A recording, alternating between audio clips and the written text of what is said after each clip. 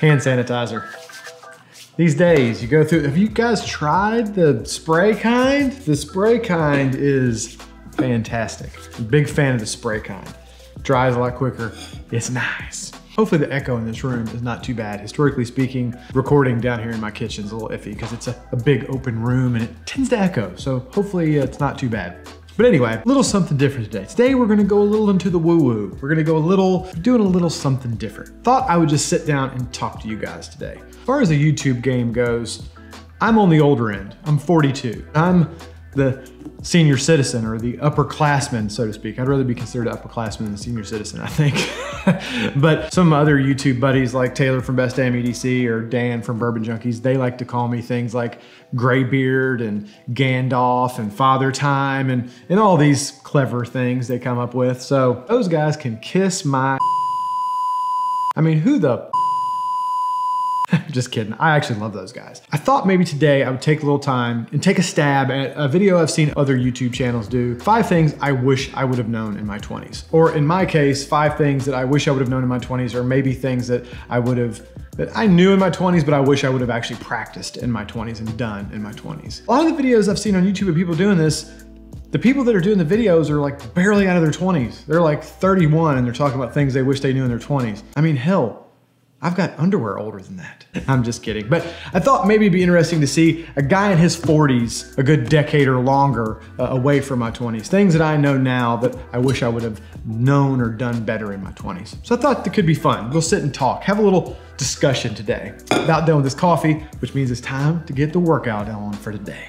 The first thing we're gonna go over is probably the most concrete, the most tangible of the things we're going to talk about today. After this one, we're going to go a little more woo woo, a little more theoretical, and just kind of thoughts of life and whatnot. But this one is actually something you need to do physically. Number one is take care of yourself. Now, this is a pretty broad range of things. This could actually probably be broken down into multiple sections, probably a couple videos. But basically, when you're in your 20s, now this doesn't apply to everybody, but most, I know I did, I ate like crap.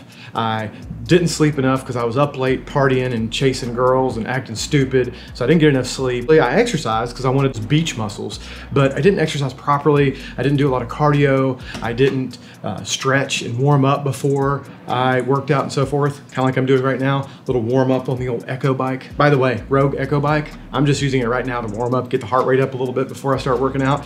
But if you want to do interval training on this thing, whew, they don't call it the devil's tricycle for nothing. This thing is a puke machine. I promise it's brutal. You don't think about it because when you're in your 20s, your body can handle it, right? Your engine's running full speed ahead in your 20s. You can handle not eating as well and not sleeping as much and doing those things, and you can tolerate it. A, you're not running at your full potential that you could be running at you could be doing a lot better. And B, that sets you up once you get into your 40s, 50s, and 60s with some problems. Like, you know, if you eat like crap, you could run into high cholesterol issues, blood pressure issues. I've had plenty of injuries. I have sore shoulders, sore elbows, and everything else from not warming up and stretching out properly when I worked out because I was too busy in there trying to build muscles, clanging and banging. All the way down to simple things like keeping your teeth clean so that when you get older, you're not missing half of them. You don't have half your teeth aren't fake. Or, you know, taking care of your skin, keeping it moisturized, using sunscreen. Like for instance, my poor mom, when she was a kid and she was in her 20s, the hip thing was to use a bunch of baby oil and go out in the sun and cook yourself. Well, now she has to go to the dermatologist probably once every few months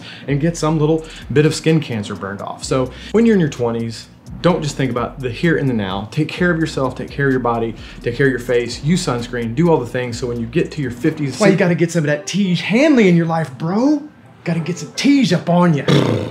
For the love of God, man, I thought you were done working out today. You know I don't like to be out here at the same time as you. Sorry, bro. You know I gotta get this pump on. Rise and grind, clanging and banging. Besides, man, why wouldn't you want to work out with me? I'm awesome. Oh, nothing much. Just, you know, small things like you grunt, you make all kinds of noise, even when you're just warming up, like you're lifting a thousand pounds.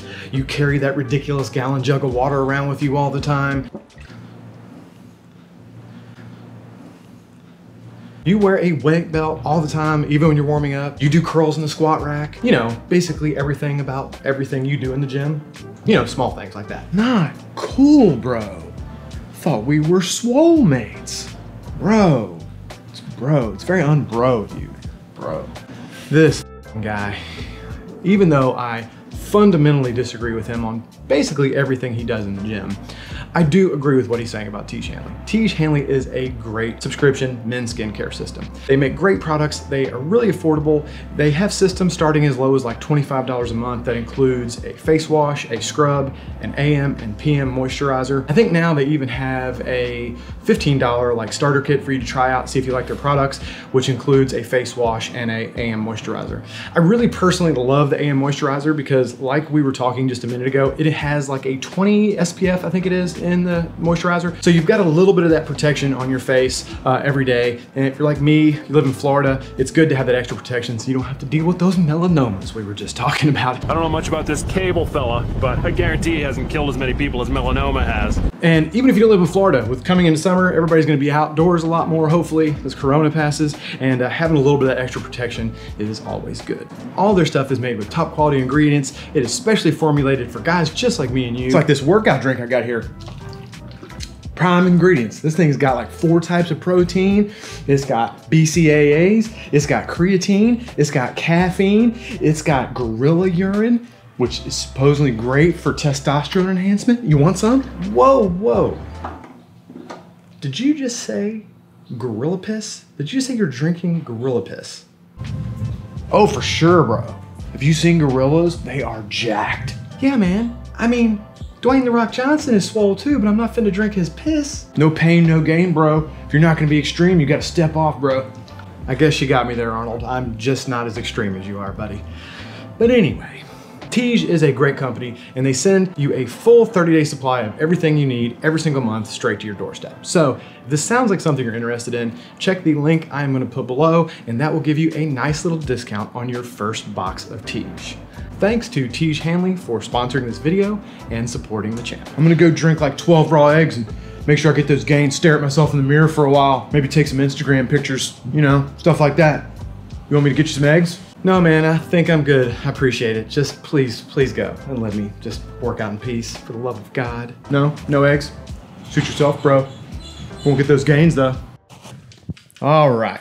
Number two, give absolutely zero fucks. Put you down here so you're not shaking about too much. When I say give zero fucks, I don't mean just don't care about anything, don't care if you hurt somebody's feelings, don't care about yourself and be just a lazy piece of crap. That's not what I mean. What I mean is be comfortable in your own skin. Be happy with who you are and don't worry about what everybody else thinks. Don't be afraid to be weird, don't be afraid to be different. Be yourself and give zero shits about anybody else's opinion. If it makes you happy and you like it, it's the right thing. I don't give a crap what other people say. With me, for instance, being on social media, man, if I gave a shit, I would be having a hard time. If I had a penny for every time somebody said, my beard looks stupid, or see, we went through the Duck Dynasty phase, or everybody called me Duck Dynasty. Now it's, I'm constantly called a hipster. I don't know how many times people have thought that I wanted their opinion about what they think about tattoos. I like beards, so I've had a beard for years. I like tattoos, so I have tattoos. So for all you people that don't like that, you can go straight. What makes me happy is what I do. I think that is something that most people should practice. If you go around life trying to live your life according to other people's opinions, you're never gonna be happy. Figure out what your style is, what you like, the things that make you happy, and do those things, regardless of what the haters say. One of my favorite sayings, lions do not concern themselves with the opinions of sheep. If you ever watched Game of Thrones, you probably heard that. Besides, most of the people that say nasty shit and are just ugly people and pick on people and insult people are living in their mother's basement with Cheeto fingers waiting for their grilled cheese to come down. They're just losers that are insecure with their own self. Real men, good people, don't tear other people down. That's not what you do. So give zero fucks. Now, I'm gonna go take a shower. I'm smelly, I'm sweaty, I stink from working out, and you guys have voiced many times that you don't like the shower scenes. so I'm gonna go get cleaned up, take a shower. We'll be back in a few. All right, that is much better. I am feeling much, much cleaner. Whew. Always feels good after you work out to get a shower, get the funk off. So what are we on? Number three. Don't be afraid to fail. Failure is good in certain ways. Take risks. Without risk, there's no reward. You miss 100% of the shots you don't take. And, you know, I can go on and on with all the cliche sayings to get my point across, but the point is don't always play it safe and conservative. I, for a long time, worked a boring nine to five job because it paid the bills and it was consistent. But the whole time, because it was a soul crushing job that I did not find fulfilling at all, I was constantly taking shots. I went through the police academy. I actually graduated top of my class because I wanted to be up in law enforcement for quite a while. Didn't work out when I graduated. It was uh, about 08 when the bubble collapsed and the economy took a shit and the counties in my area were on hiring freezes. So fail, fail number one. After that, I still hated what I was doing, so I tried to get involved in something else. So I opened a gym. I did that for a little while and it was okay, but I was working my butt off. It wasn't making enough money to make it worth the amount of work that was being put in. So again, another one failed. But that's okay. I don't look at either one of those things as a bad thing. I wouldn't take either one of them back because they were both learning experiences. They were both things that taught me things. And if I'm not taking shots, I'm not trying. Then I dove into YouTube headfirst. It was a big risk doing this. Uh, when I went full time on YouTube and quit my job, it was a big risk because YouTube is a risky career. It can be great one day and nothing the next. But I enjoy doing it and it fulfills me and it's creative and I like it. I think sometimes a job that is fulfilling and doing things that you love and you enjoy is a better benchmark for success than the number on a paycheck. Now, that being said, I know we all have bills and we have to pay them, so you do have to take calculated risks. Don't, you know, put yourself into bankruptcy or anything, but you've got to take risks or you're just going to be stagnant. Failure isn't bad. Failure is just an opportunity to analyze what went wrong, recalibrate, and get back after it. I think Jocko Willink, actually, he did a little speech about failure one time that was really motivating. You should probably look up sometime. What knife do we want today? Microtech? Ah, yeah. Haven't carried my good old Bugout for a while. I think it's a Bugout kind of day. I think I'll go Glycine Combat Sub Goldeneye for the watch. Well, big thank you to my buddies Pete and Taylor, by the way, for getting me into the watch hobby. I've bought more than I need to in the last month in watches because I love hobbies that have depth. There's a hobby that has depth and has stuff, I'm gonna get, just dive headfirst into it. That's just my personality. One more cliche saying before we go, because it's one of my favorites. I actually think I'm gonna get a tattoo of it to remind myself, fortune favors the bold. It's the truth. Take risks. You'll be happy you did. Otherwise, life's just boring. Can you hear that? My damn chair's developed a squeak. That's super annoying. Gotta get a little editing done, and then I believe my list of crap that I need to get done today is finished. That's a good feeling, having your list checked off for the day. But anyway, number four. Yeah, I think we're on number four. And this one, mm, may be not so popular. Some people may not agree with me on this at all. But college is not the answer. Yeah, sorry. Like I said, some of you might not agree with me on this. So don't get me wrong. Am I saying college is bad? Absolutely not. Am I saying don't go to college? No. If you are passionate about something that you know requires a college degree, if you want to be a doctor, a lawyer, an architect, whatever it may be, something you know requires a degree in order for you to get into that field, by all means go to college. Get the beer pong tables ready and go to college. I'm only suggesting that society has pigeonholed young people today into thinking that college is the only avenue. And I don't think that's true.